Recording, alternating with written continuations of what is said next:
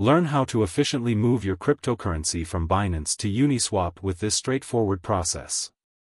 To begin, log into your Binance account. Upon logging in, navigate to your wallet.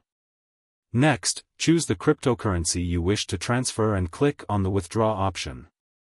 For the third step, you'll require your Uniswap wallet address. Head over to Uniswap and copy your wallet address from there. Moving on to the fourth step, paste your Uniswap wallet address into the Withdraw Address field on Binance, and double-check its accuracy. In Step 5, Specify the amount you want to transfer and carefully review all the details to ensure accuracy. Once you're satisfied, proceed to step 6, where you confirm the withdrawal. Keep in mind that Binance might prompt you for additional security verification. After confirming the withdrawal in step 7, your cryptocurrency will be en route to Uniswap.